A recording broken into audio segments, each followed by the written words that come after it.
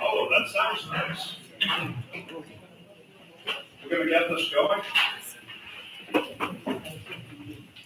Thank you for attending the community input session regarding redistricting. Please be advised that the session will be video and audio recorded to be subsequently placed online and made publicly available. This is not a typical meeting of the House or Senate committees and will not be attended by all committee members. This meeting is occurring in Belknap County at the Belknap Mill. Staff of the General Court has worked to secure places to hold these sessions statewide, and I'm grateful to staff and the organizations that control the use of the facility for allowing us to use them. And big, big thanks to the General Court staff and community services. They have to get here early and make all this work somehow. Thank you guys for that. So this is the meeting of the Senate and House redistricting committees. As a result, we have members of both the House and Senate here with us tonight. Senator Gray, would you introduce, please? Uh, thank you. I think I can talk loud enough that uh, Mike will be able to pick me up too. Uh, I am uh, James Gray. I am the chair of the Senate Special Committee on Redistricting. Uh, Senator Birdsell will be back in a minute and I'll uh, have her introduce herself in a second. Uh, but I do want to say a couple of things. Uh, Senate rules uh, don't allow you to cheer, clap, or boo, okay? So we don't, we don't want any outbursts. If you want to say something, the mic will be here. We will accept input on redistricting from everyone in the room that wants to speak. So please refrain from other expressions.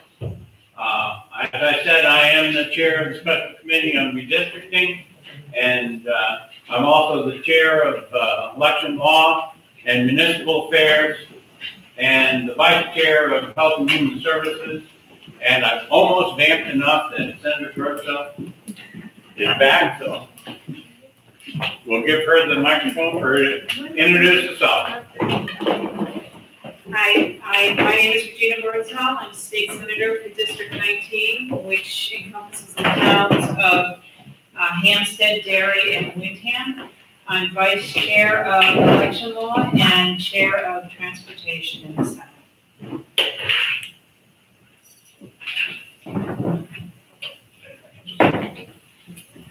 Thank you. I'm Representative Stephen Smith, Sullivan County District 11, and Deputy Speaker of the New Hampshire House, Vice Chair of the committee. Representatives, please introduce yourselves.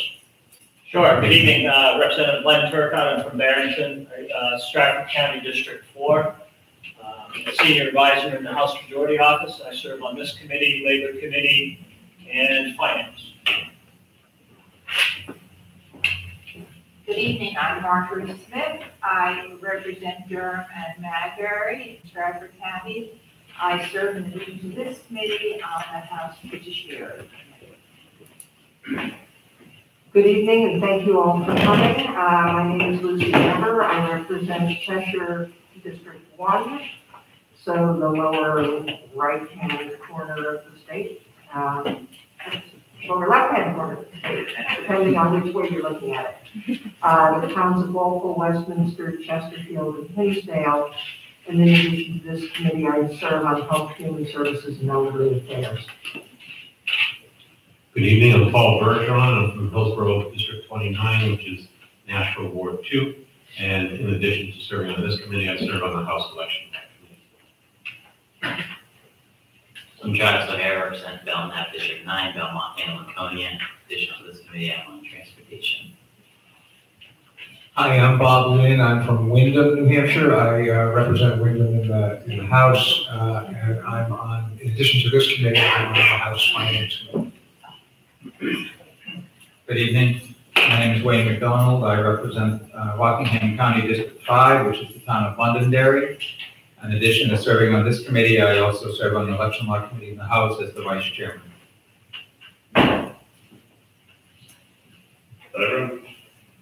Thank you. Uh, As this meeting will be placed online and is being watched, I want to take this opportunity to speak to the overall process, particularly in the House.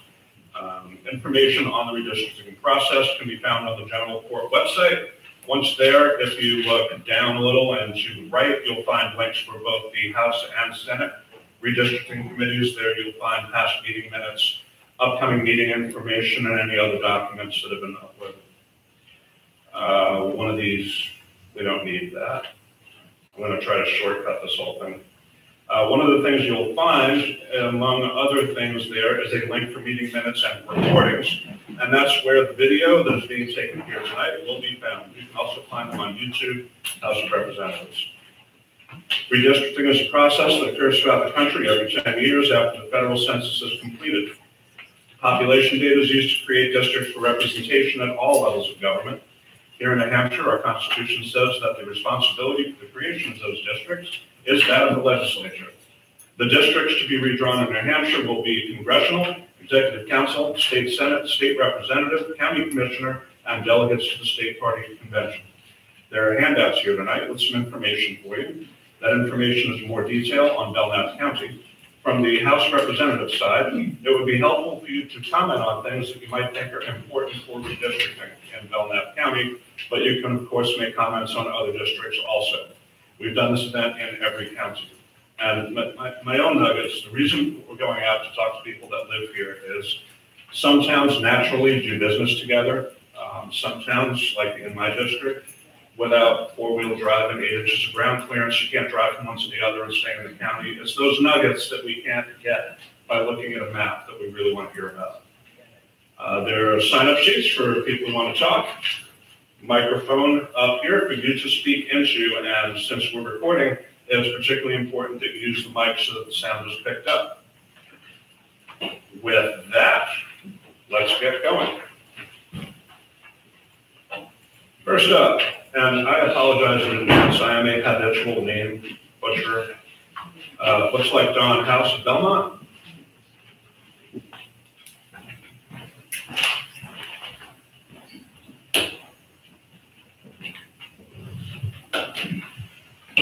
Good evening. Good evening to members of the Special Redistricting Committee. My name is Don House, and I'm a resident of Belmont, New Hampshire. I created warrant article number 26 on fair, nonpartisan redistricting that appeared on Belmont's March 2021 town election. This warrant article passed with a strong majority of voters expressing their preference for a fair, nonpartisan redistricting process. 74 other towns in New Hampshire have passed similar resolutions. Transparency and fairness are crucial to restore voter confidence in our election process. My view of transparency and fairness is the following. Committee hearings should be open for remote testimony via Zoom or other technology. One-way streaming is not sufficient. Forcing voters to come in to indoor meetings restricts participation and forces voters to choose between their health and democratic process. I ask you to offer this option in future hearings that are scheduled. Draft maps should be available with sufficient time for public review and commentary. I want to see the maps before your committee votes on them. When will these maps be available? An independent, nonpartisan group of New Hampshire voters should endorse any final maps that are recommended. Fourth, five towns within Belknap County qualify for their own separate representative according to the New Hampshire Constitution. These towns are Meredith, Gilford, Alton, Tilton, and Gilmanton. I would expect the outcome of this process to provide these towns with their own representation, not shared with other towns. And finally, my view of transparency and fairness is that districts should be competitive and reflect communities of interest. As a Belmont voter, I expect the end result of this process is that Belmont will continue to have two of their own state representatives and continue to share a floterial district with another town or city within Belknap County. As a Belknap County resident, I would like to see less fragmentation of our various voting districts. Belknap County is a small county and doesn't need to be carved up into so many different districts.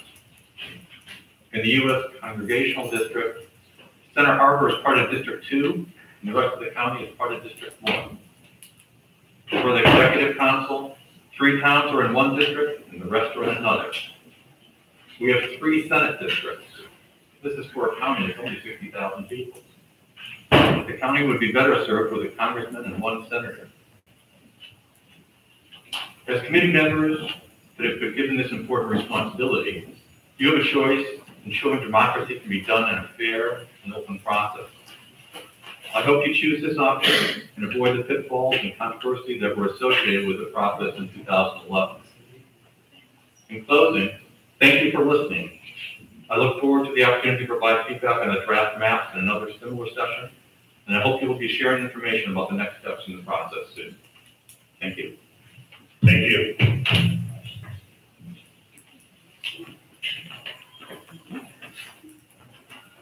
Next, we have Claudia Ferber,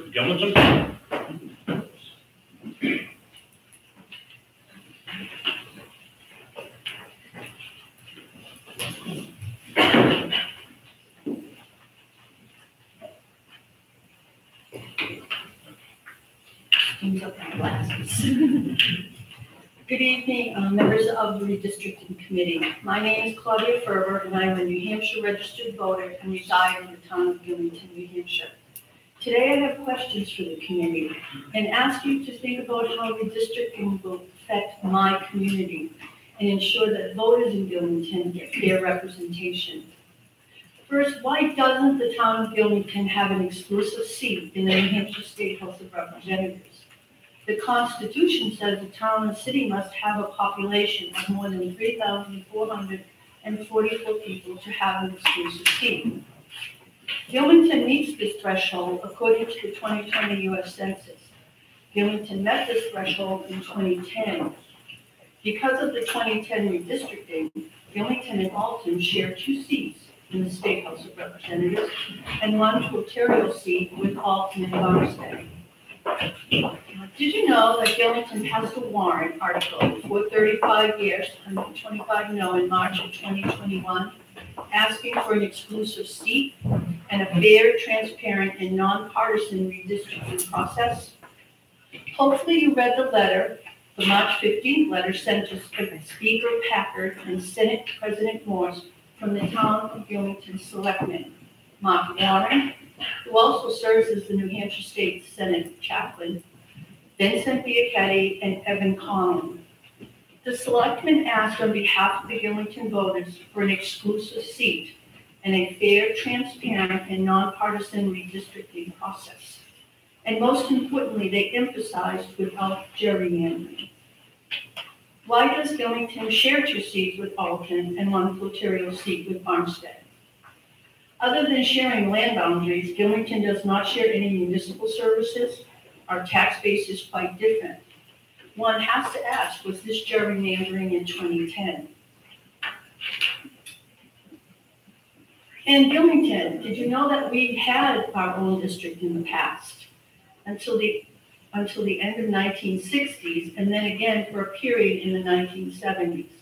At that time, George B. Roberts Jr., who resides still in Gilmanton, represented Gilmanton and served 14 years in the House and as Speaker of the House from 1975 to 1980. In 2010, as previously stated, redistricting changed things. Gilmanton and Alton became one district sharing the two House seats and one floterial seat with Alton and Barnstead. And next we look at why does Belknap County have three New Hampshire State Senate districts? One can travel north to south, east to west of Belknap County in less than one hour. Currently, Belknap County has towns and cities divided up into three districts with towns and cities from Grafton, Strafford, and Merrimack counties. This does not make sense.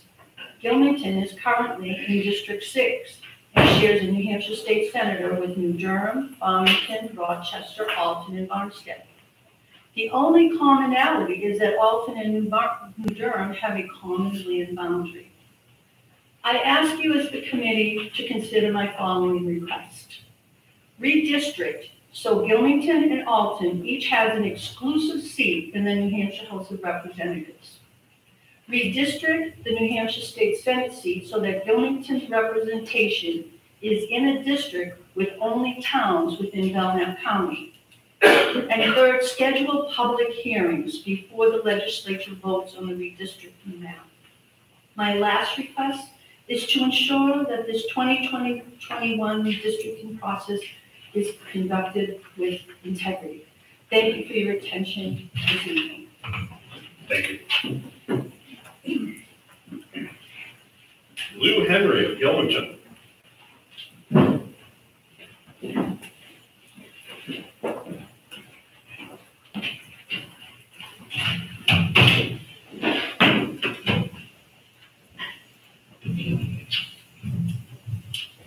Good evening. Thank you for holding these very important meetings. My name is Lou Henry, and I live in Gilmanton. I'm now in- Your redistricting task is a very difficult one, but it is extremely important. The redistricting ten-year lifespan means that having it done correctly now is paramount. Redistricting needs to be accomplished in a fair, nonpartisan, and transparent manner. Unfortunately, the previous two redistricting plans from 2001 and 2011 were not done this way. Leading to much controversy and a lot of time and money spent into unfortunately less than successful attempts to correct. So, I thank you again for being here this evening, seeking input into this process.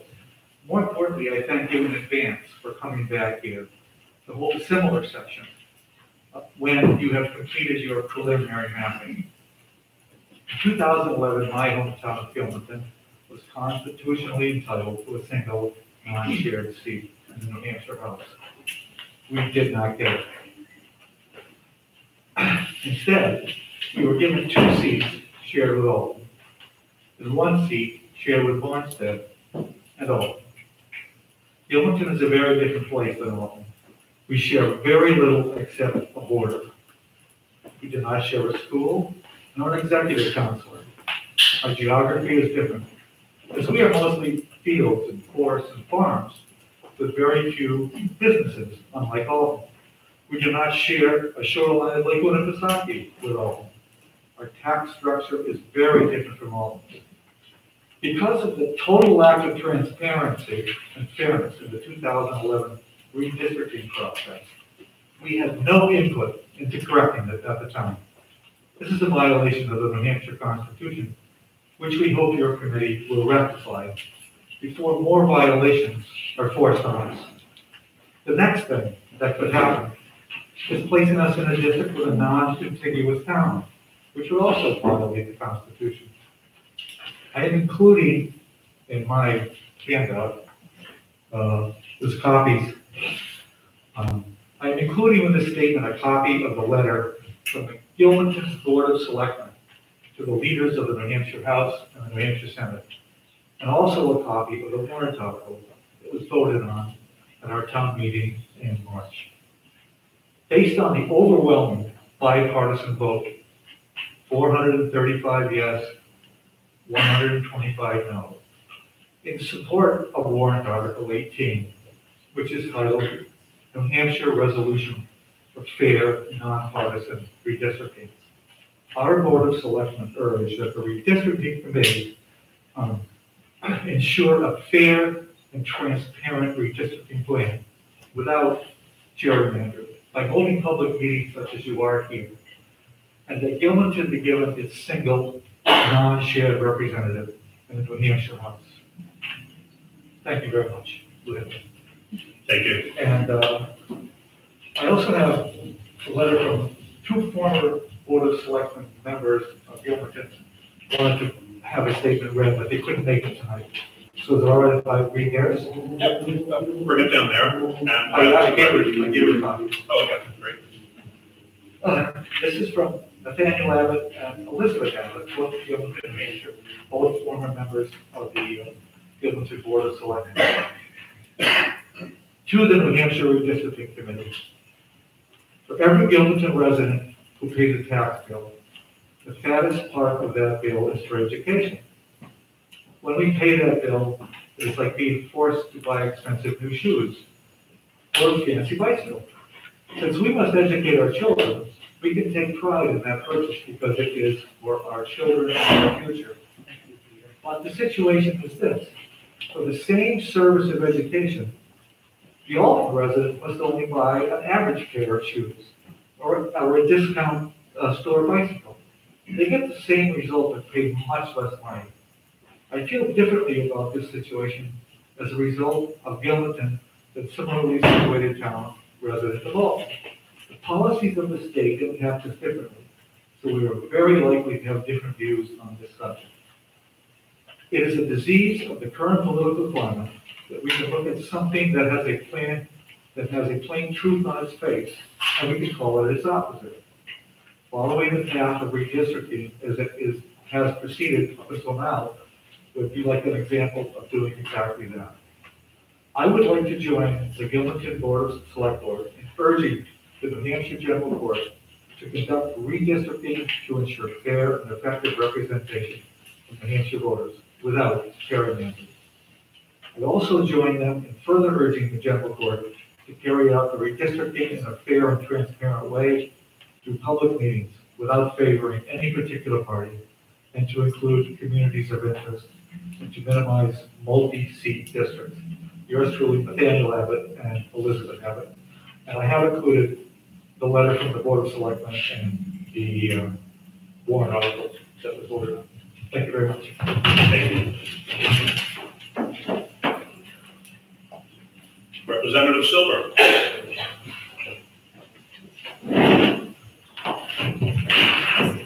Thank you, and uh, I don't envy the task that you have been assigned or been volunteered for. As you know, under our Constitution, we have 400 state representatives. Every town and every city in New Hampshire, I would be willing to bet, wants to have their own exclusive representative. You can't do that when you're limited to 400 representatives. We need to have a lot more representatives so that every town could have their own exclusive representative. I have the privilege of serving in Belknap District 2, which is a multi-town district between Gilford and Meredith. I'd just like to make sure that the members of the committee have a little, step back a little bit in history.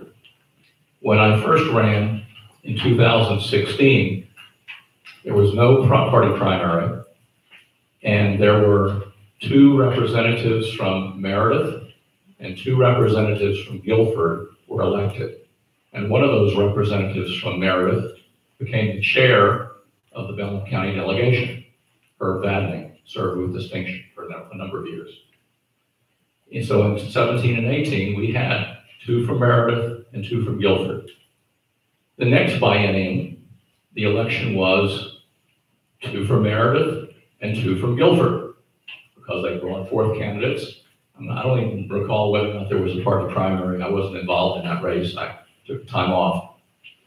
In 2019, or rather 2020, for the 2021-22 biennium, we had a primary, a party primary, and we ended up with three representatives from Gilford and one from Meredith, although there was, there was a candidate, an additional candidate from Meredith who did not make it past the primary.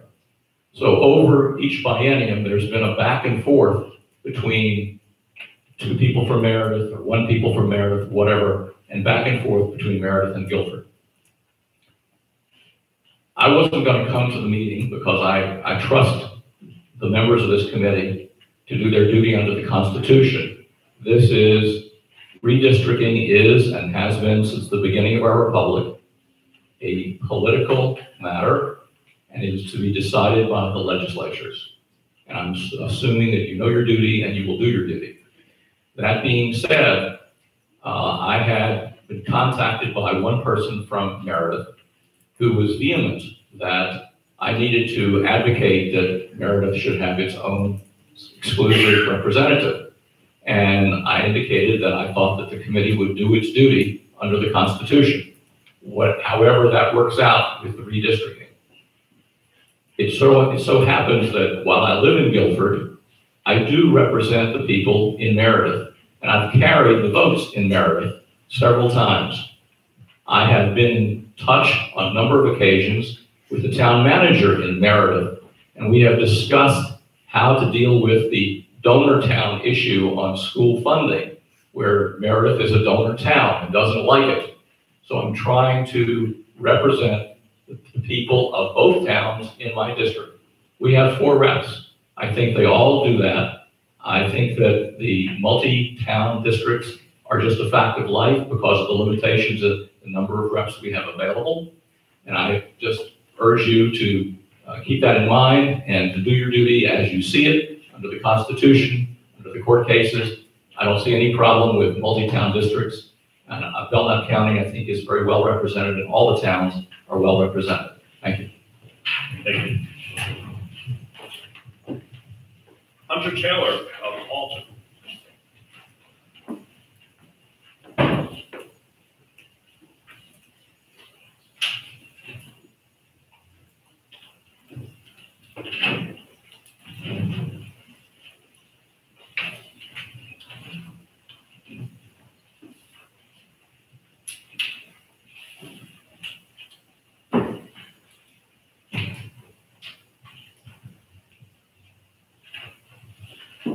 Good evening. I want to thank uh, both the Senate representatives and the representatives from the House uh, for holding this session. I think uh, very, very important, and I'm very pleased that we are able to share with you our concerns and our hopes with regard to redistricting. Let me say at the outset, I, I am a county commissioner. I'm not here as a county commissioner. I'm here as a citizen of Belknap County and a citizen of Alton. And I tend to sometimes wander into the weeds, and I've got some ideas about, um, some su- suggestions really for you, uh, going forward. I think we all agree fairness is really the watchword when it comes to redistricting. And fairness, I think, in this context, has two very important components. One is we need to adhere, we need to adhere to the one person, one vote uh, rule, so to speak. Uh, The second major thing, I think is really reflected a lot in the way in which our House of Representatives has been structured. I mean, four hundred representatives, as you well know, is unusual. And I think it does indicate a, uh, commitment to localized representation to the extent that it can be feasibly accomplished. And, I mean, we all know that, uh, you, divide four hundred into the census number, and that gives you the magic number to be used, uh, for guidance in constructing the house districts. And it's not a guarantee that it's be forty-four, three four four four across the board. The Constitution itself and the Supreme Court cases indicate that reasonable deviation uh, is allowed. Now, let me make one suggestion about Belknap County. Belknap County has the fewest municipalities of any county in the state. One city and 10 towns and 18 representatives. So you've got a little bit easier task, in my opinion, to work on with regard to Belknap County. And I think the whole idea of combination districts is potentially dangerous. And let me, I, don't need to go back in history beyond, uh, two thousand. In two thousand, the legislature saw fit to create District Five in Belknap County. Four towns, seven representatives. Four towns had forty percent of the, uh, the population of the county. Now, the idea of localized representation So I got shot with that. In 2008, of the seven representatives, four were from the same town. And frankly, I mean, I think that anytime you're combining towns, that's a risk. Now, looking at the current situation, I- I'm very sympathetic with the position being taken by the people of Gilmanton. I mean, Gilmanton has gone at least two of the bindings in the last ten years without its, without a person from Gilmanton representing them.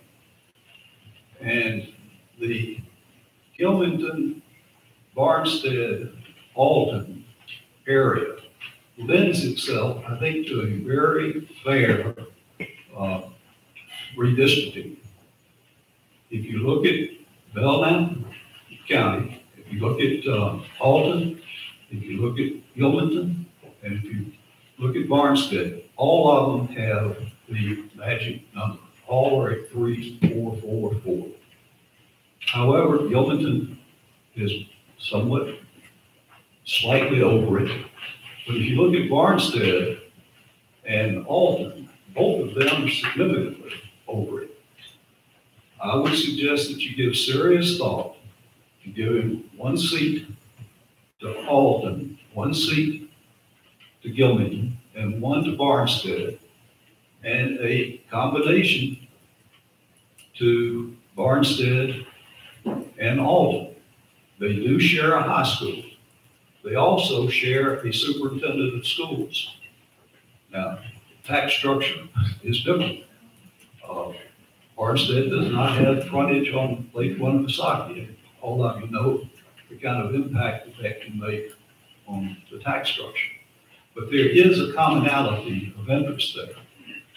And I think that that is fair to all concerned. I mean, I think that uh, Alton deserves a separate representative.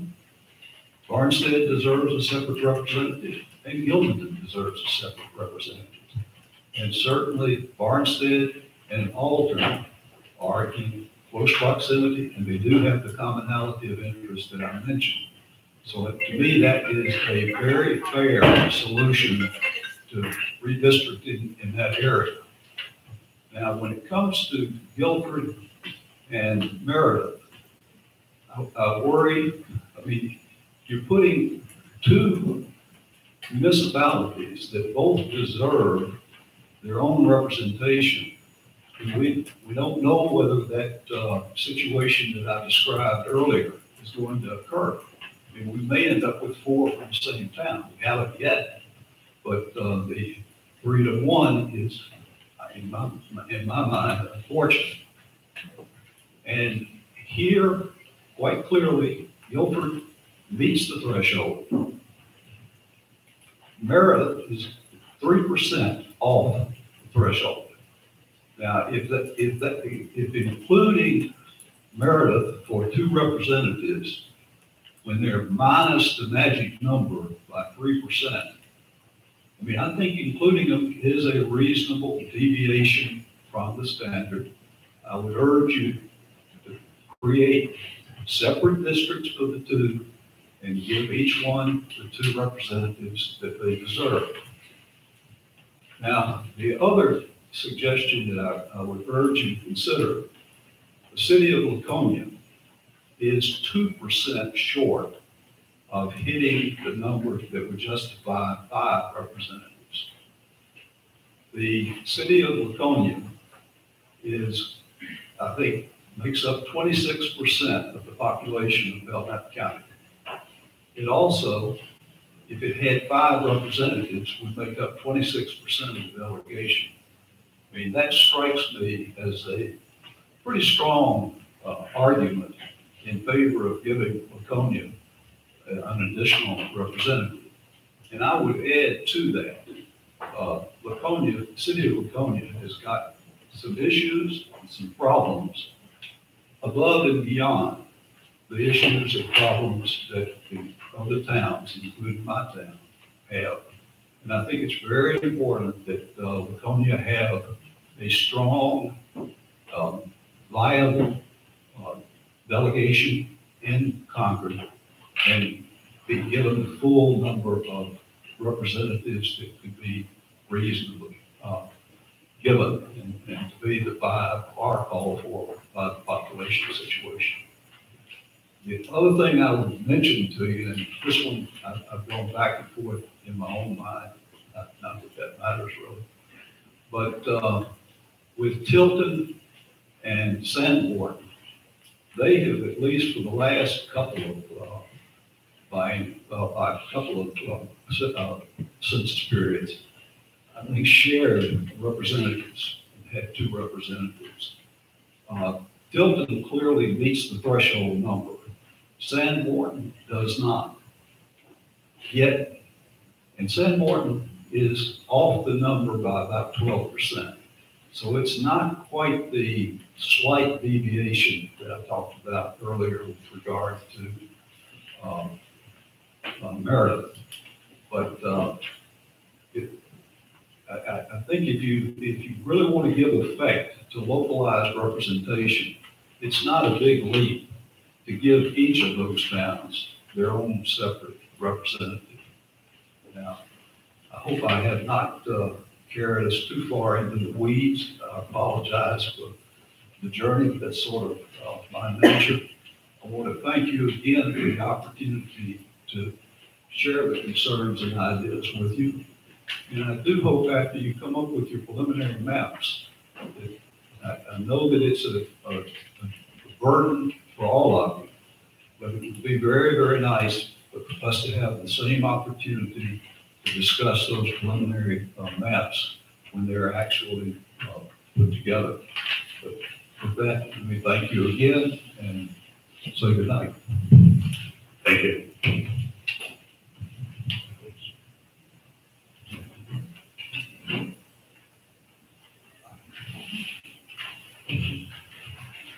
Representative Horrigan.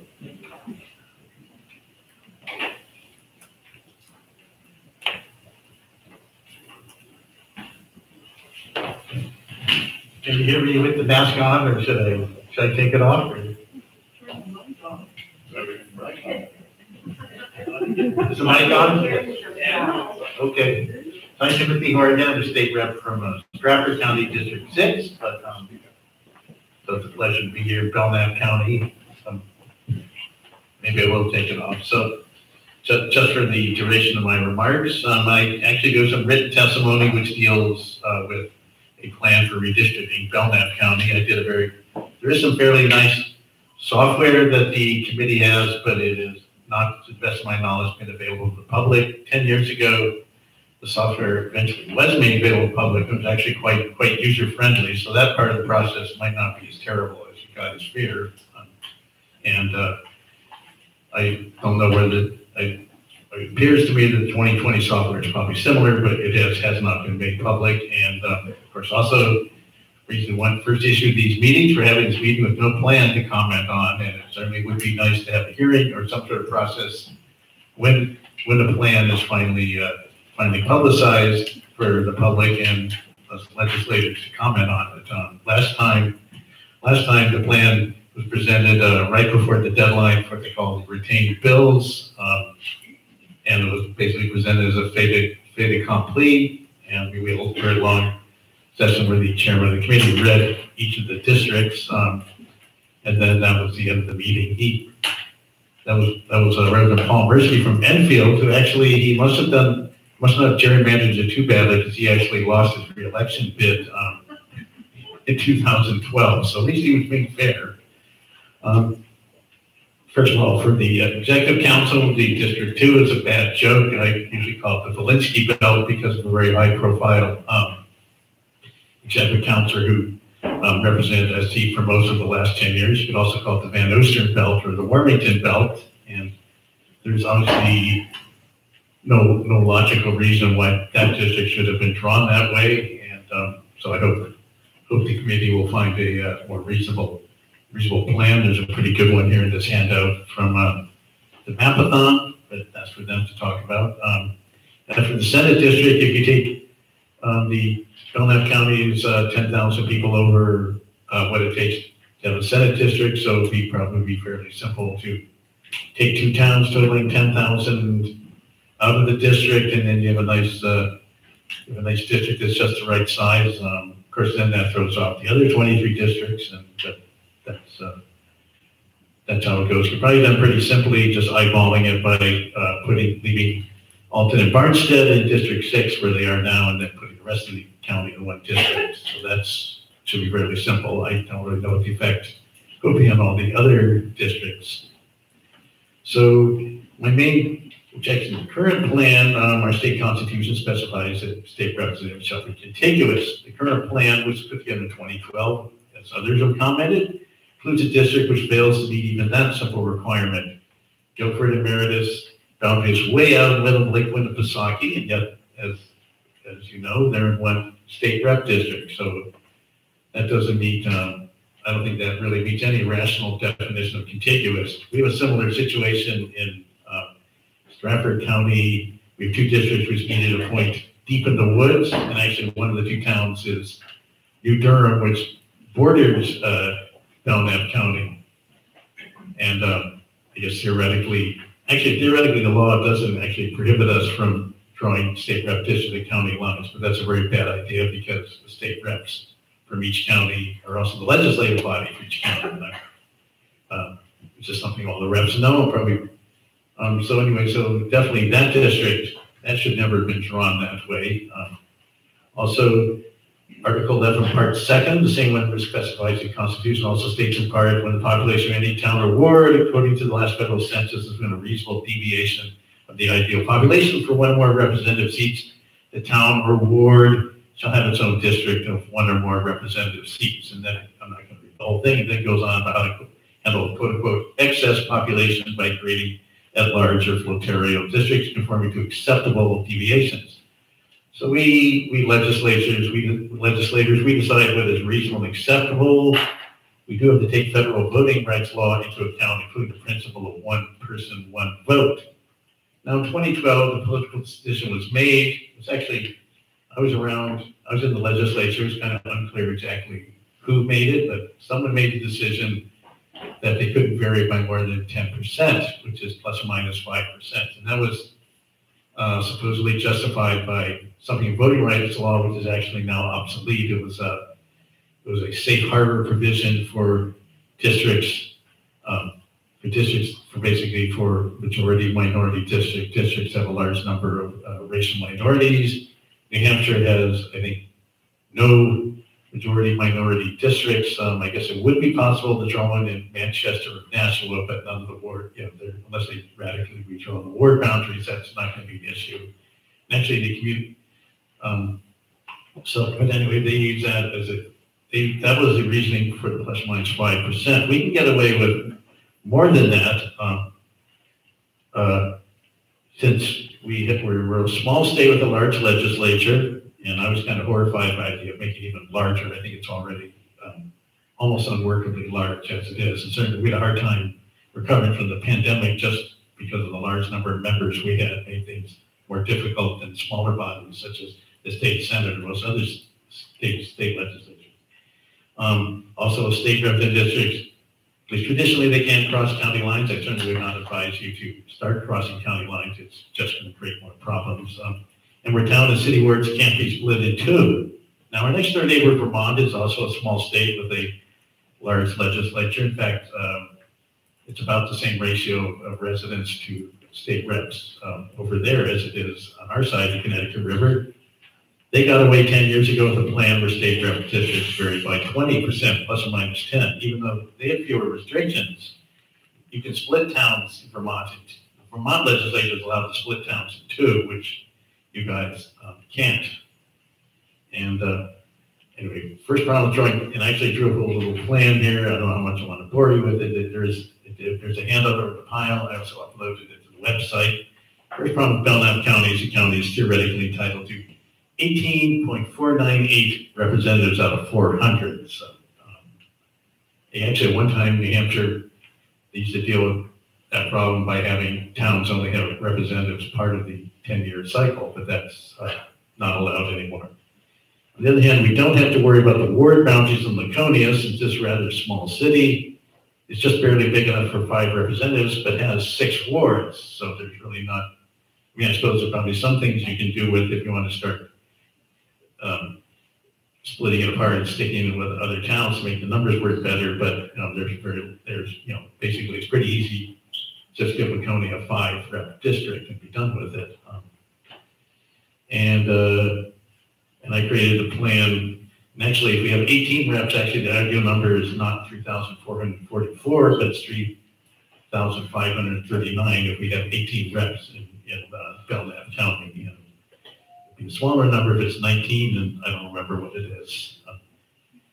And uh, this plan, you have to stick Center, Harbor, New Hampton together, because they're, uh, both much, they're, uh, and they're, actually two of them together are eight point eight percent below the, uh, below the ideal ratio. Meredith, if you have two reps, it's three point three percent below the ratio. Laconia, and I'm not the first one to say this, if you give it a five rep district, they're two percent below, and those are all well within the plus or minus five percent. Gilford, if you give it two reps, the deviation is eleven point eight percent, and that was probably why Meredith and Gilford were put together to make the numbers work better. Belmont, you give two reps, it's plus six. Um, Sanbornton is a big problem because it's, uh, it shares a long long line, land boundary with, uh, with New Hampton, but there's only, only roads that connect it, that are Route three and the interstate, so I stuck it in with Tilton, and that gives you two reps, and it's one point four percent over the ideal ratio. Gilmanton, I gave it one rep, they're fourteen point five three percent over the ratio, and finally, I did stick Alton and Barnstead together with a three rep district, which of course you could have probably would want to have one for each town and then a floterial, and that would be some other deviation, but it's four point six percent. So that's, that plan, um, whether or not, that's probably not the plan that's gonna pass, it's not necessarily the only good plan or the ideal plan, but, um, it would pass muster with the, with the federal, uh, it would pass muster with the federal voting rights law, especially since it's, it's changed since ten years ago. So that plus or minus minus five percent basically is something that didn't even apply ten years ago, twenty years ago, applies even less now. You don't have to.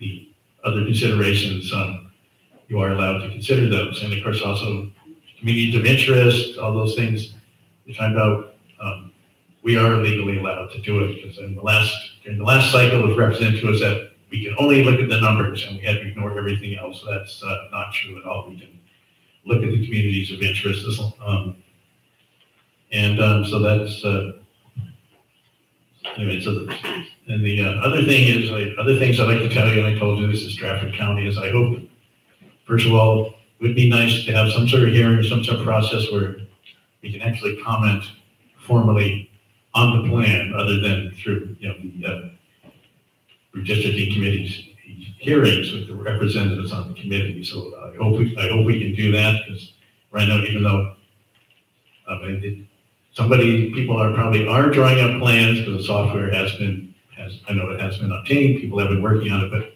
no plans have been publicized.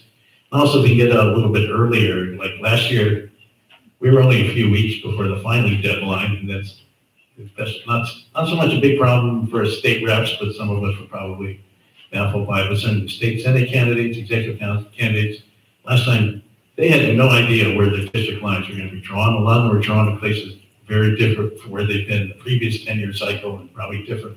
Certainly District Two, I doubt that anybody, uh, uh, I doubt that anybody was really expecting them to draw, you know, a little belt one or two towns wide all the way across the state from Hinsdale to Rollinsford. That was probably a total surprise to everyone who wasn't, everybody except the people who actually drew up the plan. So I'd like, I think it'd be fair to get it just done a little bit earlier.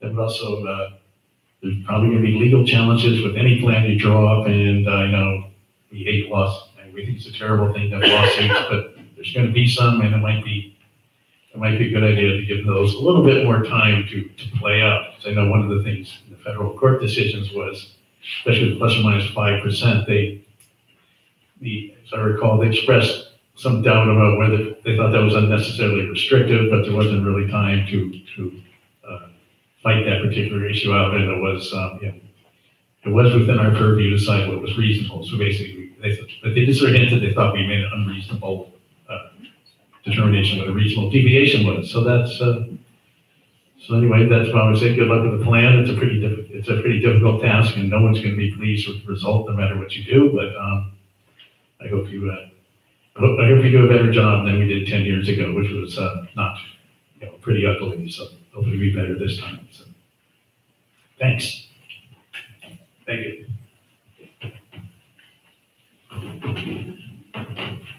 Oh, I might get this one wrong. Sandy Muse of Meredith. Looks like M U C E to me, but I can be wrong.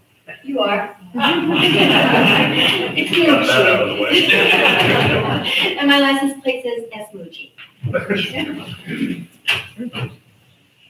So hi, my name is Sandy Mucci. I'm a resident of Meredith.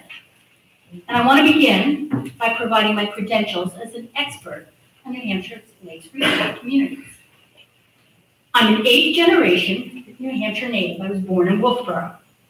I spent all 70 of my summers in the Lakes region.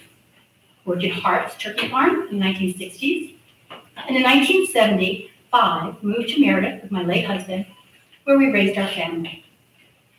Of course, my Wolfeboro cousins still call me the Connecticut cousin because my father was from Connecticut and met my mother when he did a postgraduate year at Brewster Academy after World War II. My work and volunteer activities have brought me to most of the towns in the Lakes region. I know this area very well.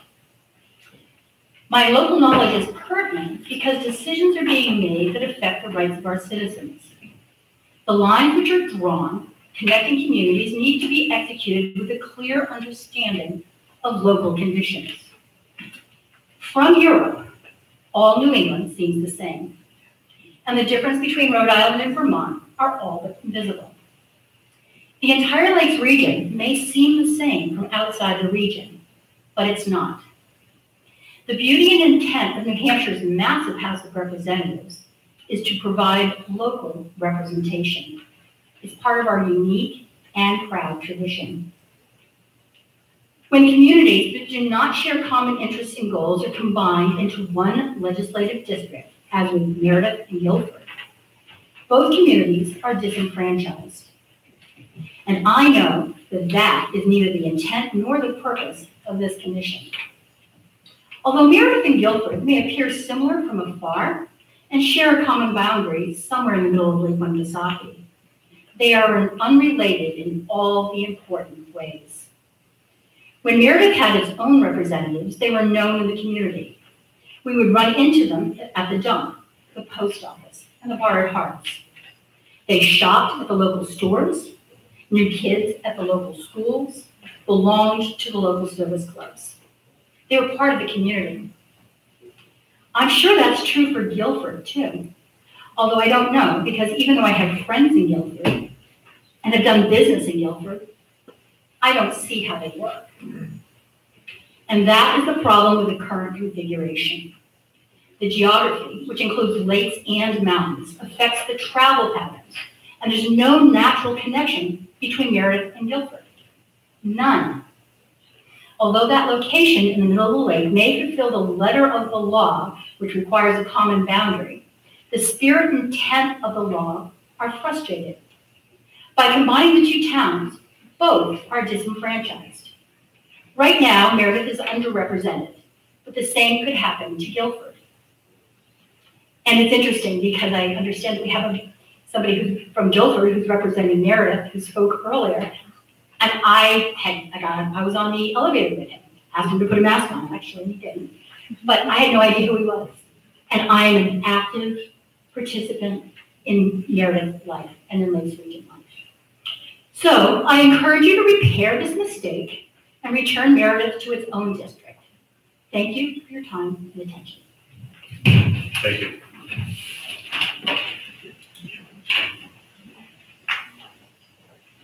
All right. Lynn Montana, Meredith?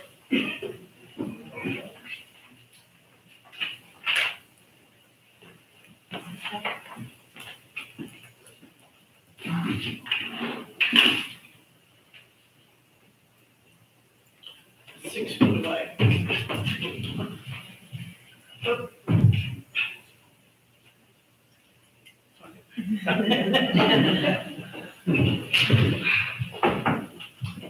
Madam Chair and members of the Special Redistricting Committee.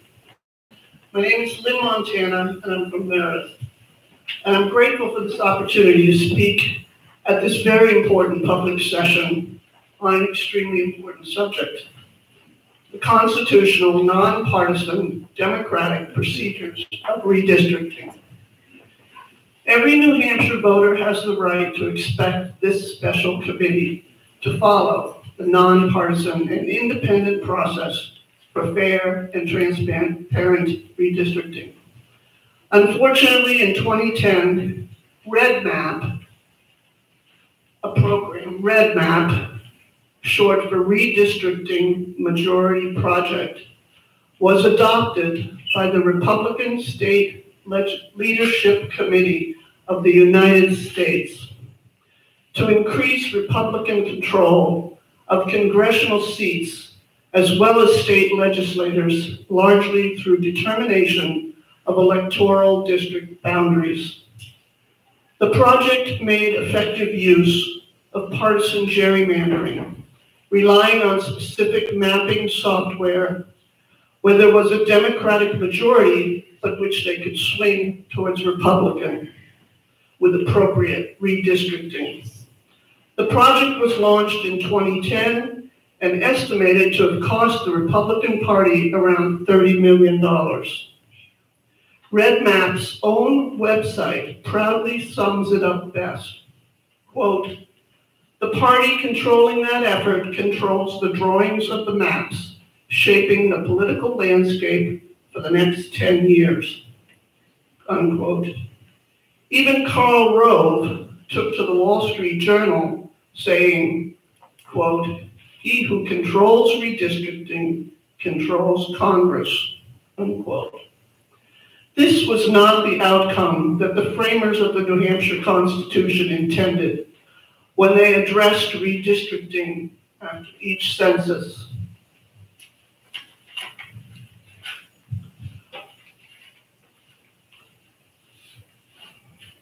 whether Republican, Independent, or Democrat, the majority of New Hampshire voters understand that it is advantageous to us all to have fair, transparent, and nonpartisan redistricting procedures, no matter which party holds the majority in Concord.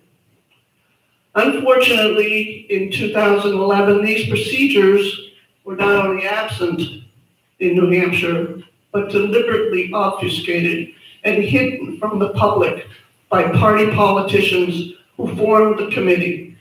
And the result was a very partisan arrangement of voting districts, which quite frankly, to a great many New Hampshire voters, was appalling, shameful, and very undemocratic. In 2011, decisions were made by three politicians and held in secret behind closed doors. Public meetings were held after very short notice with no maps available for the public to see. Our state legislators were only allowed to view the maps a few days before voting on the districts. Any opposition or improvements were silenced.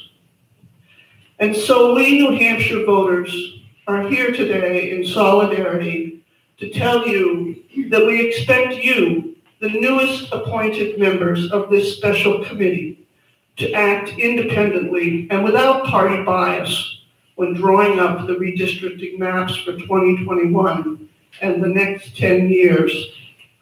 We're asking you to fix these maps and use fair methods. You can request, if you like, the organization Fair Maps I'm sure they'll be happy to assist you if you need help doing so.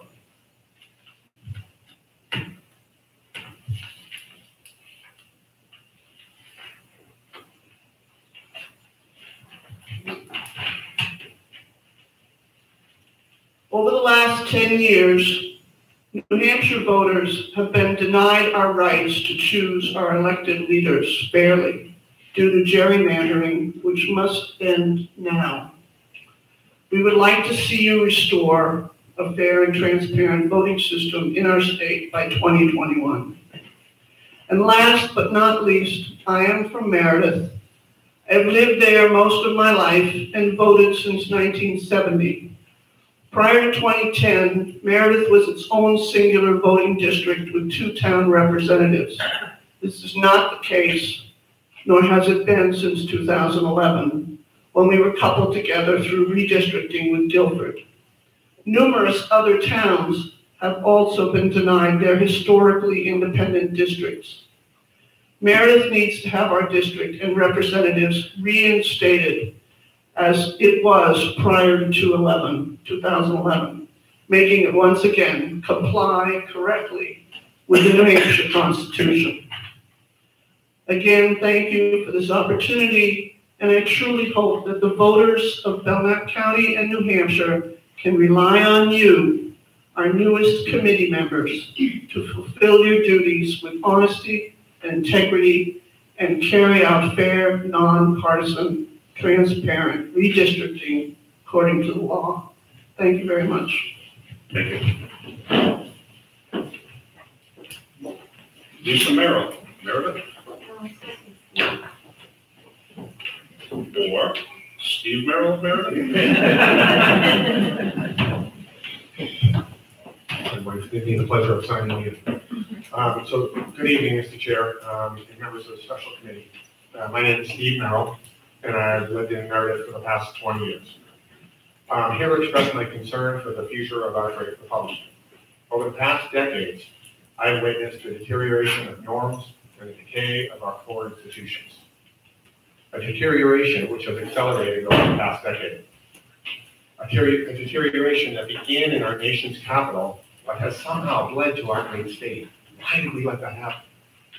A deterioration that, if left unchecked, could undermine the very foundation of the country we all love, all of us. Certainly, one significant influence on this insidious decay has been the partisan gerrymandering, which has grown more and more powerful with the information technology revolution of the past 30 years. Modern computing technology combined with modern data analytics enable politicians to leverage voter data to maximize their probability of against the will of the people. Just as Facebook, Google, Apple can predict which ads you're likely to, to, to uh, click on, voter analytics can predict how groups of people are likely to vote. Um, in 2010, a wave of Republicans swept into our state and boldly asserted their authority over our voting system. The gerrymandering that result left one party with an unfair advantage in the election, elections for the ensuing decade. To achieve this goal, legislators chose to sacrifice the independence of Meredith and many other towns uh, by taking away their representatives. Though Meredith leans Republican, or rather, in, because of this fact, we were combined with Gilford to form a district with four representatives. Never mind that the only border we share is across the lake and have nothing in common, share no institutions, no dump, no, no schools, nothing.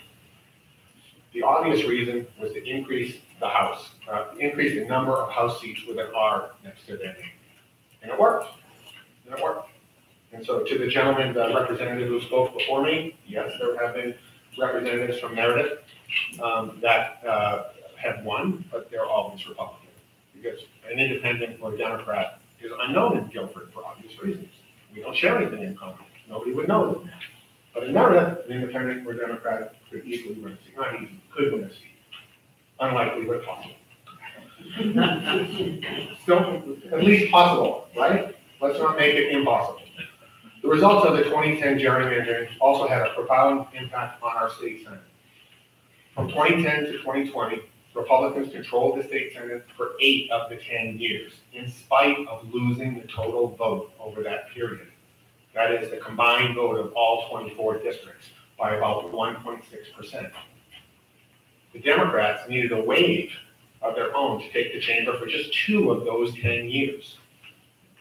In 2018, Democrats won the total vote count for those 24 seats by 8%, but only won 14 of the 24 seats. In 2012, the totals were fifty-one to forty-nine for the Democrats.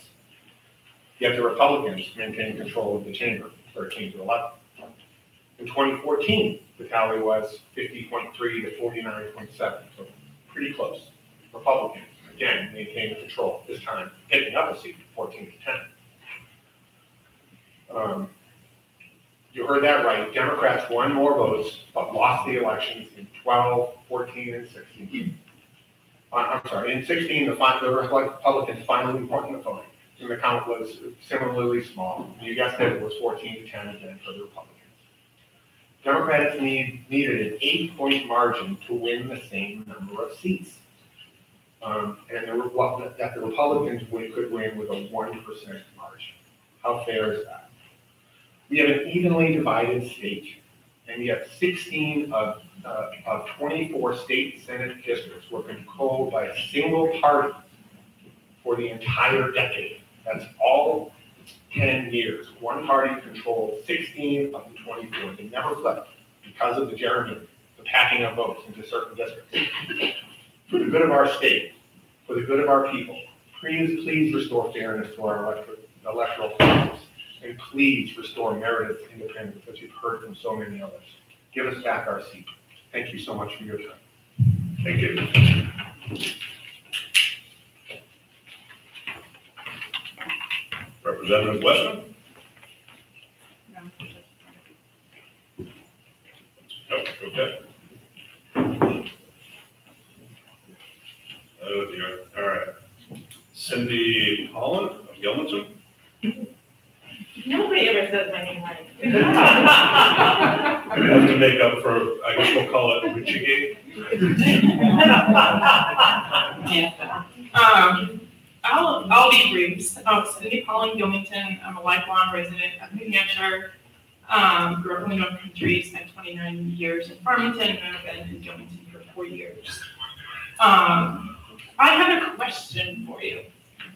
I'm really curious how many of you, when you're speaking to people outside of New Hampshire, brag about our citizen government, that we have so many representatives people know who the representatives are. I know I did. When I lived in Farmington for 29 years, we had, uh, and let me tell the population there right now is 6,930 people. We had two representatives and a senator. I saw people, as was described earlier, at town meeting, at ball games, at the bank, at community events. There were people that I knew. So when I had a question about what was going on or wanted to get input, it was really easy. You could sometimes just do it walking down the sidewalk. You would run across people. I, mean, it took me a little bit to catch on, but I'm shocked.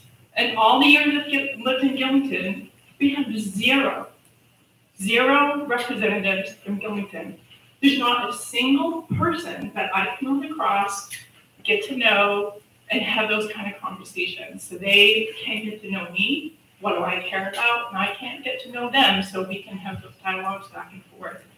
So I, as other people have requested, would request that you restore the spirit and the functionality of our citizen legislature. I would like to once again have that experience. I had no idea how lucky I was to have that until it was gone. And thank you very much. Thank you.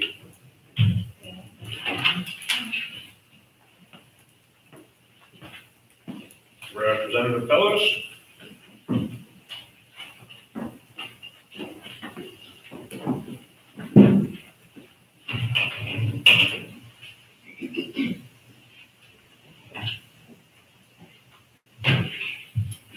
Thank you for providing an opportunity for community input. I am Representative Sally Fellows. My district is in Grafton. It includes Holderness, Hebron, and Plymouth. There are three things I respectfully ask you to consider. I have a suggestion that you might find helpful in trying to keep all districts within the five percent deviation limit. This is most likely to be useful in counties with smaller populations where the perfect seat allocation, which is a two-digit decimal number, includes a fraction close to one half. For example, Grafton County, with a population of ninety-one thousand one hundred eighteen, has a perfect allocation of twenty-six point four six seats. While I was able to successfully map 27 seats, which is our current allocation in Grafton, with just a few adjustments to the con- current configuration, I couldn't map 26 seats, even when using three or four floterials, and still keep within the 5% deviation from the statewide target of 3,444. What I discovered was that only three seats were below the state target. The other 23 were over. The only, only one district was outside of the 5% range, and that one was over by 5.47%. So I wondered, why so lopsided with three under and 24, 23 over? Since Grafton's allocation of 26 seats is nearly half a percentage below the perfect allocation of 26.46. There are 1,574 extra people that must be squished into the 26 seats. That's an average of 61 extra people or 1.7% of the target for each seat. If that excess were evenly distributed across all the seats, each would have a deviation of plus 1.76. A deviation of that magnitude is more than one-third of the way to the maximum allowable deviation of 5%. So I think that's the key. You know, when you have um, a district whose percentage is, is close to an extra half, you have a lot of extra seats that you people that you have to deal with and trying to fit that within 5% is very difficult. My suggestion is to develop county maps based on the state average target of 3,444 people per seat. But if a few seats are a bit outside that 5% limit, test the deviation using the target that is the county population divided by the number of county seats. For Grafton, that would be 3,505. If all the seats are then within the 5%, I suggest that the map should be deemed acceptable.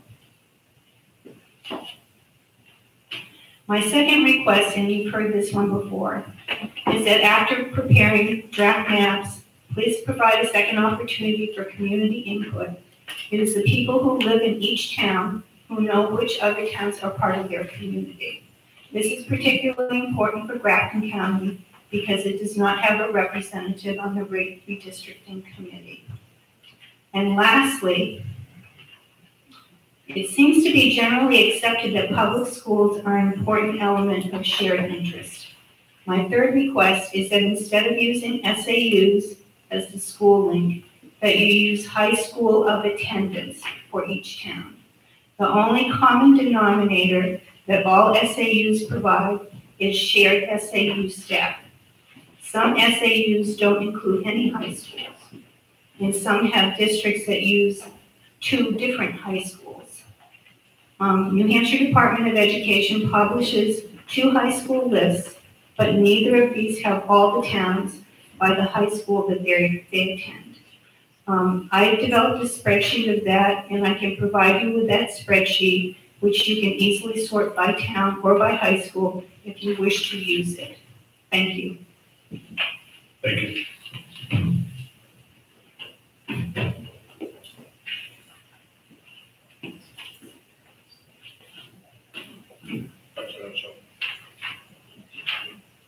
Sorry, I had to call for backup on this one. Uh, United again, I have eagle eyes. Uh, okay, so, uh, Eliza Ledbetter, Gilford, yeah, great. No, Or Eliza, oh, I- I'm here. She's got. I wasn't planning on speaking, but after listening to people, I would like to take a few minutes.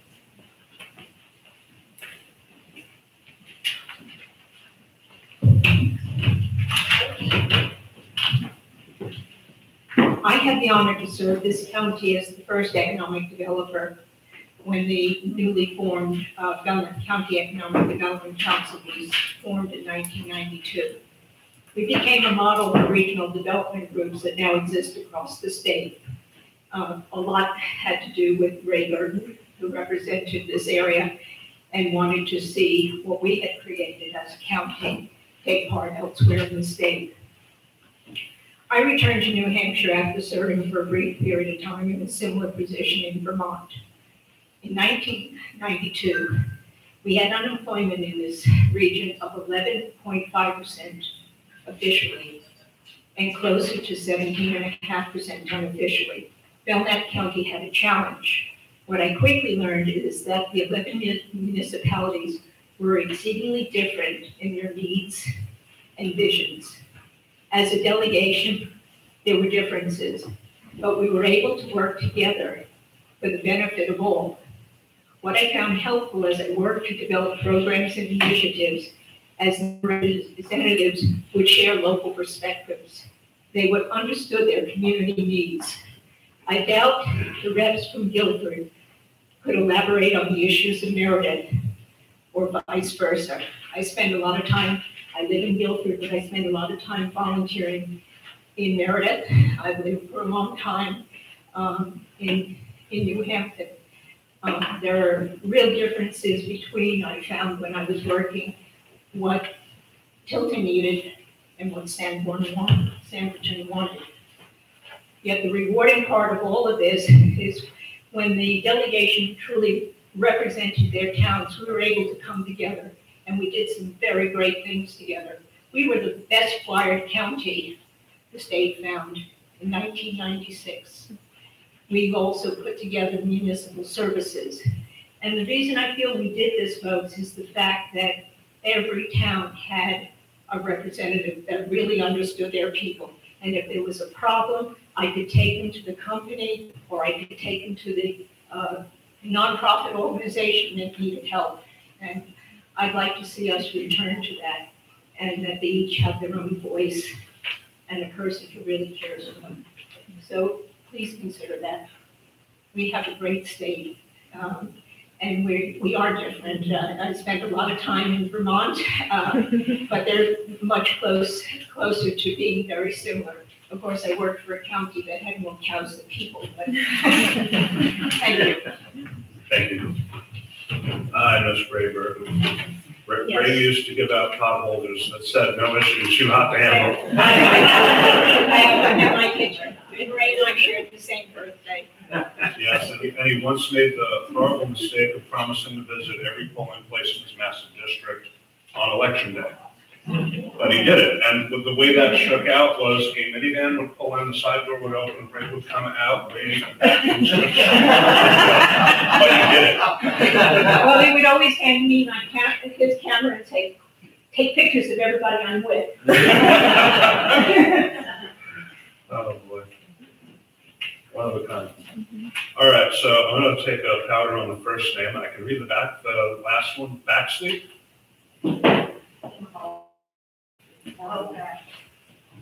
Thanks. So my name is Mo Baxley, and I'm from Laconia. Um, I had hoped to offer testimony, um, tonight, but it's not possible to offer testimony on legislation when the language hasn't been written or is available to the public. Now, I understand the timeline, um, that this committee is under legislatively. Um, but I would ask and request that once the maps are done and the language is available, um, to the public, even though there may not be time for you to do another um, tour of the state in person, that you hold a hearing in Concord or do one online so that people can indeed offer testimony on the legislation and the redistricting plan. Thank you. Thank you.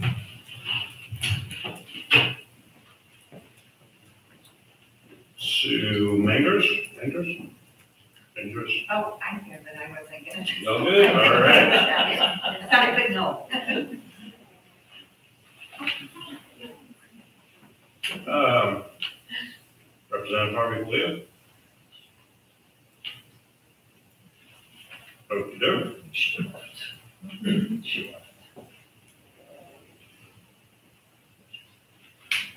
Uh, this one's easy, nice writing. Ruth Larson of Alton.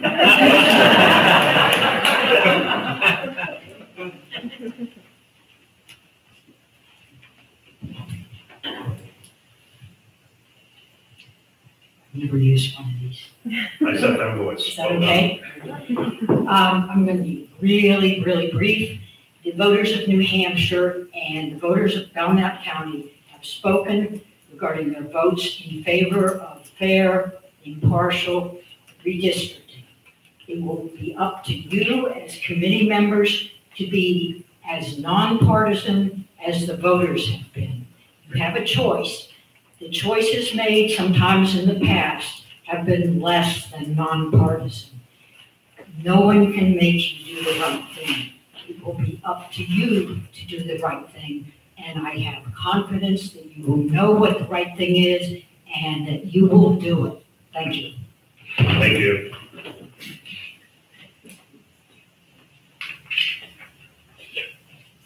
Jay Newton.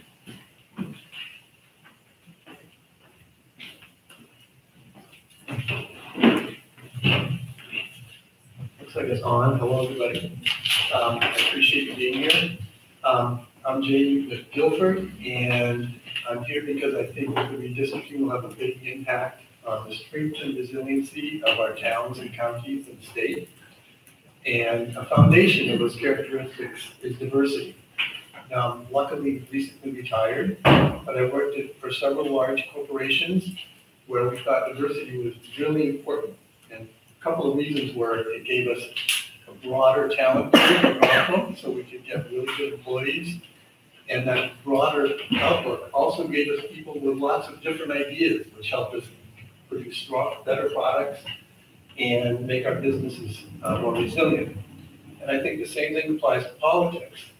If we look at the, um, the map, however we do it, and we either sway to Republicans or Democrats, or we favor either one, then we're essentially taking the chance of disenfranchising half of the people in our state who could be bringing ideas and energy and uh, into our political process and giving us better voter participation and better candidates as a result.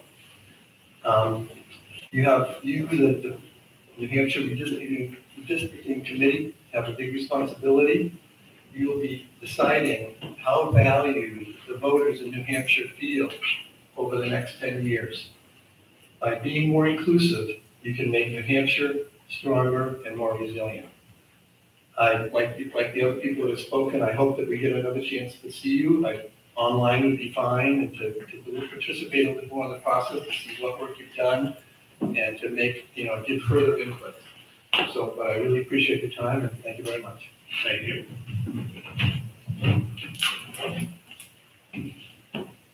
Richard DeMark, Meredith. I get the lead. You did not go well. All righty.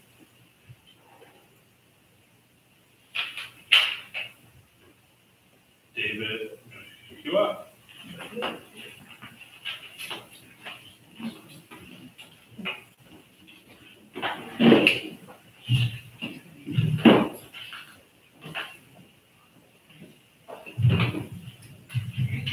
Thank you, Mr. Chairman. I won't take, I won't take long. I will say, however, there's been a lot of talk about names here tonight. And I have to tell you about the time I went to see a doctor, and I walked into the room, he was sitting there, and he said to me, call me Adam. I said, why would you want me to call you Adam? He said, well, he said, my last name has 14 letters and nobody can pronounce it. And I said, well, have anything on me, my last name has four letters and nobody can pronounce it. I wasn't gonna, s- wasn't gonna say anything tonight, but I haven't seen anybody from Laconia here. Now, Laconia, uh, has a, an unusual problem. Uh, Every uh, person in Laconia is represented by four representatives. So that means that, uh, there are something in the vicinity of uh, sixteen thousand eight hundred uh, voters who all have the same, have, you have four representatives, and there's no differentiation. That wasn't always the way. I, my first time I served in the legislature was in 1970, 71. And I represented Ward Two, it was divided by wards. You don't have to do it that way. But it doesn't seem right that the people in Laconia uh, have 16,871 people representing them, no matter where they live. But up in in Belmont, which is next door, Belmont, I'm not sure what their population is, I didn't have time to look it up. Um, but if you add that population to sixteen thousand eight hundred and seventy-one, uh, they have 23 or 23,000 or so people forming, forming one representative. This doesn't make a lot of sense. Um, so I, I think the, the, committee ought to take a good hard look at how the representation of the city of Laconia is constructed. I realize it's difficult in the city, because there are a lot of different factors involved, uh, particularly with city wards. Uh, But the wards are there, and then, and we're not allowed to change the ward lines in order to redistrict. But uh, I would hope that the committee would take a serious look at uh, forming districts where uh, not quite so many people uh, have the same representative. Thank you. Thank you. Just leave it on. Probably not.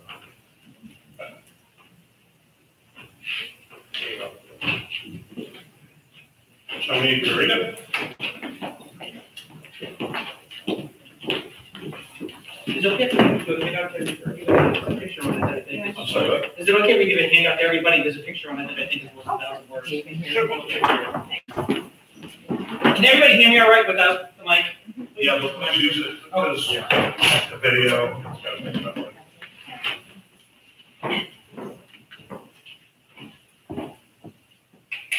Good evening, everybody, and uh, thank you, members of the redistricting committee, for the opportunity to talk tonight. Thank you also for taking your time. As I'm sure everybody in the room knows, you are the lowest paid employees in the world. You guys get paid nothing for the time that you put in, so taking your evenings like this, in addition to your time in Concord, to talk to us today is greatly appreciated. It's unfortunate, I know that some of the members are missing tonight, that with today's technology, we couldn't figure out a way for them all to participate, but I myself do appreciate you coming out here tonight and taking your time to listen to our concerns. My name is Tony Carino, I've been a resident emeritus for 30 years. I've been a resident in New Hampshire for 40 years, As I'm fond of saying is I'm from New Hampshire, but my parents are from Massachusetts. I moved to New Hampshire as soon as I could. I grew up in Massachusetts, but I always consider myself from New Hampshire. I have. I came here when I was a kid. I've always considered this to be my home. Um, last fall, I became far more attuned to how things work in the Meredith Guilford area. And I'm not here to talk about what's happening in Laconia or what's happening in Alton. I'm not here to say that you guys are not doing your job. You have the interest and the best um, uh, intent for the residents of New Hampshire, or you would not be running and working like this for two years for two hundred dollars. Let's face it, you guys don't get paid. You're doing this because you have the best interests of the residents of the state of New Hampshire, and and I'm not here to tell you how to do your job. But when she ran for the, for the House, I realized that something just really didn't seem right with the way Gilford and Merrick was put together. I'm not a Republican, I'm not a Democrat, I'm not here to talk about gerrymandering, I'm not here to talk about somebody doing something in favor of one party over the other. I'm not here to talk about politics. I'm here to talk about the town of Meredith. The town of Meredith, and I read this and I tried to check, fact check it, and I couldn't really fact check it, that it was, we've had our own representative for 150 years. I think it's more like 227 years. The town of Meredith was incorporated in 1768. The house was incorporated in 1784. We had a representative from 1784 to 2011, to the best I can figure. That's 227 years that the town of Meredith had its own representation. Somehow, we got tossed in with Gilford. I don't know why. I asked a bunch of people. Nobody knows why. If I was a cynic, I would think that something nefarious happened to put those two towns together. But I'm not here to complain or say that anybody did anything without the best intent in mind. Um, the fact is, as we've all heard, the town of Meredith and the town of Gilford share no land border. As you can see on the picture in front of you, in order for the people that were running for state rep, to get to a common border, they had to paddle canoes out into the middle of Lake Winnipesaukee to get to a point they had to do a photo op where the two towns met. Uh, In addition to that, if you actually wanted to drive from Meredith to Gilford, it's a twelve mile drive. Now, in the, in the summertime, when we have all the summer residents here, and all the tourists here, that can be a half an hour more drive to get to two towns that have been combined together for some unknown reason. In addition to that, they don't share any municipal operations. They don't share any youth programs. They don't share any sports teams. They don't have any common commercial or healthcare interests. So how we ended up combining those two towns is really kind of a question as to what the motive was. If you were actually to look at towns that actually had a common interest, Gilford and Gilmanton actually share a common interest. But I'm not proposing that we combine Gilford and Gilmanton or any other combination. And with due respect to Representative Silber's comment, we have a very easy solution for Meredith and Gilford. We don't need to blow up beyond the current number of representatives, and I'm sure this same instance occurs other places, but I'm only here to talk about Meredith and Gilford. We have four representatives, and we have approximately the same population in the two towns. Now, an interesting thing also is that if you were to look at property valuations, because let's face it, that's how we fund ourselves here is through property valuations. That's where the state gets their money. The town of Meredith has two point three billion dollars in, in value in home valuations. We rank nineteenth in the state. The town of Gilford has two point one billion, they rank twenty-second in the state. We each contribute approximately thirty-two million dollars to the state coffers. We contribute roughly the same amount of money, we have roughly the same property tax valuation, we have roughly the same population. I don't think it's asking a lot for the amount of money that we present to the state on a yearly basis to say, hey, let's take those four, break it into two, get them rep- their representatives, like the town of Meredith has had for two hundred and twenty-seven years. And you don't have to blow anything up. All you have to do is take the four we have now, split them into two, no harm, no foul, no, no worse off for anything. Um, but it, why do we want to do this? Why would we want to say, okay, we want to do something different than they decided to do in 2010, which nobody can seem to figure out why they did it? It's, I'm not here to, to school anybody on the state constitution. You guys know it better than anybody that's on this side of the table. But if you look at the way it is right now, as Representative Silber said, we have three from Gilford and one from Meredith.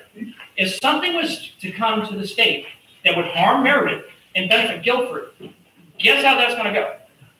It's not gonna go towards Meredith, it's gonna go towards Gilford. We should not be ever setting up a situation where we can disadvantage one town over the other if we don't have to. And this is a case where we clearly don't have to.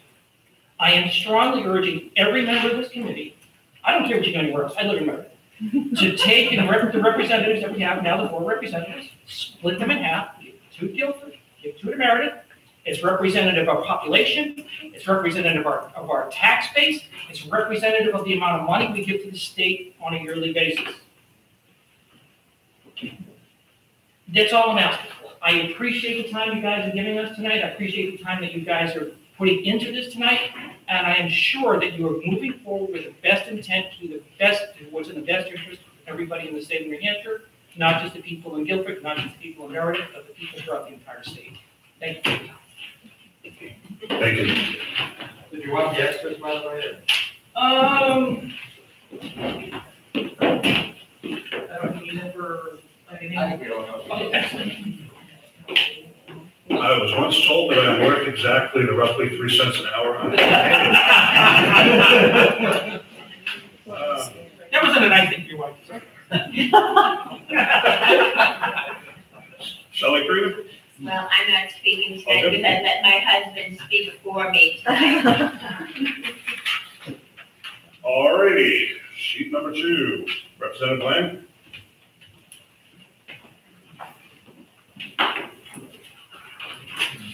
Thank you, Representative Smith.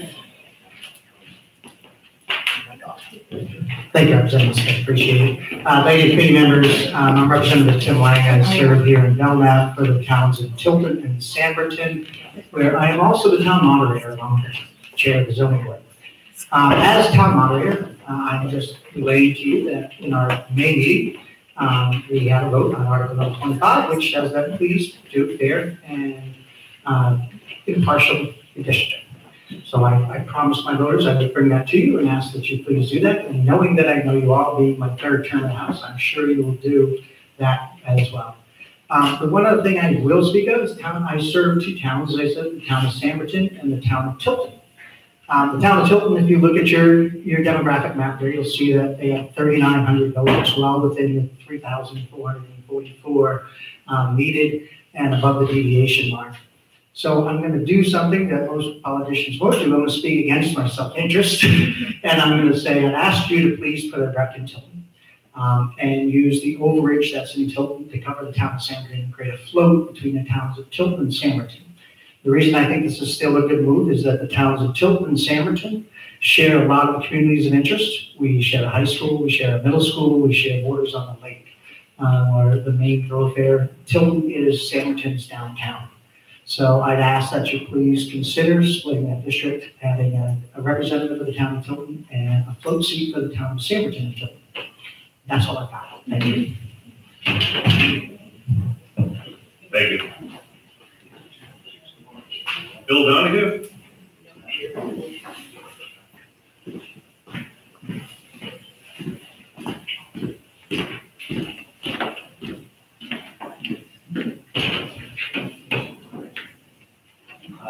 Hi, um, earlier, earlier in the evening, uh, Representative, Representative Smith was, uh, telling a story about, uh, somebody, so I have to tell a brief story about him right now. Um, and this is a very unknown fact about him, but he happens to run the, uh, best slot car racing track in the state. And I've been there. Oh, The mic wasn't on for my promo? I've been there, and, uh, you know, if you think he's driving this meeting with expertise, you should see him on the slot track, slot car racing track. Just mastering the motion. And His son is even better. Um, so, yeah, um, well, we've heard a lot tonight about, uh, how, I'm from Gilmanton, we've heard a lot, uh, tonight about how, undemocratic, uh, the treatment of Gilmanton has been, uh, with the gerrymandering, uh, and, and the fact that we don't have a state representative. Uh, I'd like to invoke, uh, geography and history to, to argue, uh, how problematic that situation is.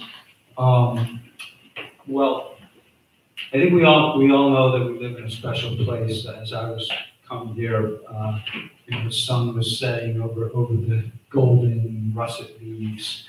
Uh, but another, another thing that's, that's very special about this part of the world, northern New England, is that it's, it's really the, the place where American democracy has always lived most, most deeply. Uh, for proof, we really don't need to look any further than this is a famous painting I brought with me. I'm sure you all know it. Um, Norman Rockwell, freedom of speech. Um, you know this painting. Uh, and uh, this, this painting is from 1943, uh, and it, ca- captures an actual person, a working man named uh, Jim Edgerton, standing up at a town meeting in Arlington, Vermont, where Rockwell lived uh, for many years. And uh, Edgerton was a political dissenter. Um, after a school burned down in Arlington, he was the only one to oppose building a new one. Um, he's poor, probably to most people in this in this uh, drawing, in this in this painting, um, and uh, his hands are probably dirtier. And you know, political forces were strategizing against him, if there were something like gerrymandering in his town, he might not be able to speak. But he is speaking, and everyone in this room is, is looking at him in this room right here, is looking up at him appreciatively and listening. And these people are not only honoring democracy, they're honoring history. Uh, democracy is so cent- central a tenet to New England that when the French writer Alexis de Tocqueville came here in the 1830s, uh, writing, doing the research for his, his very famous book, democracy in America. He looked at the town meeting, the New England town meeting, meetings like this one in this picture, and he wrote, in the laws of New England, we find the life and mainspring of American liberty. De Tocqueville wrote that the town meeting was a thing in, in New England as early as 1650. And he marveled at democracy, which was a cutting edge concept when it was invented back in you know, the days of serfdom and feudal lords. Uh, it didn't emerge in, in, in, cosmopolitan Europe, it emerged in New England. In little towns where, where gnarled farmers, you know, rolled the rocks uh, to the side of the field to build stone walls. And uh, um, in, in, this, and this is quoting de Tocqueville, in this community so humble, a man might stand up in the face of a free people and embrace liberty. My point is this. Tonight, we are talking about some very small towns, but a large issue. Let's do the right thing. Let's respect New England's history. Let's respect democracy. And let's ensure that Gilmanton has its own representative. Thank you. Thank you.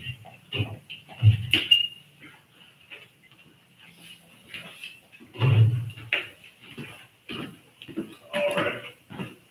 I will not be trapped by this valid combination, so last, uh, Brian from Alton, is it Beal, Bale, File? There's so many ways to do that. Yet another in the parade of uh, testimony where the last name has been hacked my entire brain. Uh, Vice Chair Smith, uh, Chairman Gray, and members of the redistricting committee.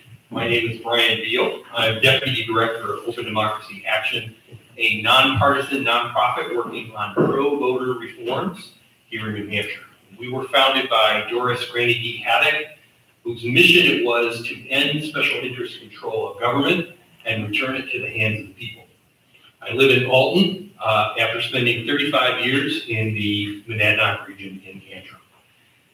You've been seeing a lot of me lately, and I'd like to spend a few minutes talking about why that is. And, uh, then I'd like to make a proposition to you all. Throughout this year and part of the last year, I've been engaged in educating the public on the redistricting process, what it means to have a fair process, and ways to get better maps, create better maps that have been produced than have been produced in the last two decades. We've run workshops about the best practices for fair redistricting, featuring national experts, which some of you have attended. Uh, we've educated towns about our constitutional provisions for redistricting, and we, with our partners, assembled the Map Mapathon Coalition, in which over 250 people have now volunteered. We helped 74 towns around the state, from red towns like Alton, Franklin, Londonderry, and Rindge, to blue towns like Lebanon, Lebanon, Durham, and Keene, and every color in between. Those 74 towns represented 561,000 granite staters. With only five losses, it was only the, that's beyond the 74. Uh, with only five losses, it was only available time in the pandemic that kept that number from being a supermajority of New Hampshire voters. They varied slightly in language, but those cities and towns were asking for a fair, nonpartisan, and transparent process. You can nitpick about it being a non-binding resolution, but tell that to the voters who braved the pandemic to come up and vote on it, making it clear they wanted fair maps. And I'd say they took it pretty seriously. In May, Mapathon Coalition began its work surveying New Hampshire cities and towns for communities of interest data. What we didn't get through surveys, we followed up by phone calls to town administrators. This yielded a list of 60 communities of interest um, which the larger Mapathon participants whittled down to five. The all-volunteer mapping and technical team was formed as a subset to this larger group and comprised of engineers, data analysts, software specialists, and GIS mapping experts. Taking that criteria, our mapping and technical uh, team assembled community of interest maps from the state of New Hampshire's Department of Education, Department of Environmental Services, Department of Health and Human Services, and federal and academic sources. This helped us to create the overlays that you see on our maps of the regional high schools, healthcare regions, regional planning districts, uh, shared municipal water and sewer, shared police and fire, and a couple of others, excuse me, a couple of others. It's important to note that these overlays can be used with anyone's maps, as they are available for the asking. In addition to the overlays, members of the Mapathon Mapping and Tech team created analysis tools which can test our maps and the maps of others to see with, where uh, there are weaknesses, mistakes, or intentional uh, manipulation. Like Joel, An- like Mr. Joel Anderson's software, one of our team members, Phil Hatcher, developed a computer software tool which makes mapping suggestions based on New Hampshire and U.S. con- constitutional mandates and other factors. This has been a useful tool which has already made some suggestions that we hadn't thought of. While our maps are not perfect, uh, as my colleague John Cross discussed last night, um, the, the communities of interest can be implemented and retain, um, excuse me, I lost my way here. Um, as my colleague uh, John Cross uh, discussed last night, we've proven that com- communities of interest can be implemented to retain high schools, shared water systems, healthcare regions, and regional planning, et cetera, some of which you've heard asked for in these hearings. This community interest data, along with our maps and supporting documentation, is readily accessible to the committee, to both committees. Tonight, I'd like to take one more step and make a proposition. In consultation with the Mapathon Mapping and Technical Team earlier today, we are offering our services to the two committees. The House Special Committee is up against a tight deadline. Our House maps are nearing completion, as close as we can get to them uh, without uh, the completed re- uh, redistricted city boards. We can work with you side by side um, and joining your policy and constitutional expertise with our technical expertise. I have confidence that we uh, can help this House Special Committee meet its deadlines, uh, allow for a seven-day review period, and produce a worthy product. While our DRA 2020 software had a limitation of being able to show floterial districts, this problem has now been solved. I know that was a concern for some of you. The DRA software allows for the manipulation, excuse me, not the manipulation, the implementation of many useful tools, including overlays, additional data sets, and other tools not available in Mr. Anderson's software. While the Senate has more time to create its Senate and Executive Council maps, we have proposals ready to analyze which improve competitiveness and compactness while being sensitive to communities of, uh, communities of interest. New Hampshire has a long tradition of volunteer contributions to developing legislation. I'm hoping that the House and Senate committees will give our serious offer of technical support, consideration, and together we can share maps that we can all be proud of at future hearings. Thank you for your time and service to our state, uh, for being committed to a fair, nonpartisan, and transparent process, and for logging all of these miles to listen to the input of your constituents. Thank you very much. Thank you. All right, it looks like that's all we have. So with that, we'll close the house session. Uh, Normally, we ask for, from the uh, audience, to sign out. Okay.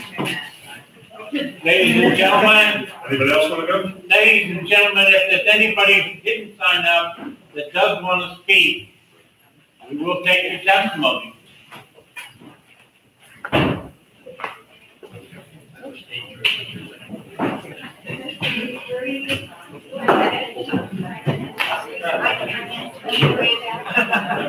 and gentlemen, we do have somebody who does want to testify, so if you would, um, take your conversations out of this room and sit down and, uh, listen gently.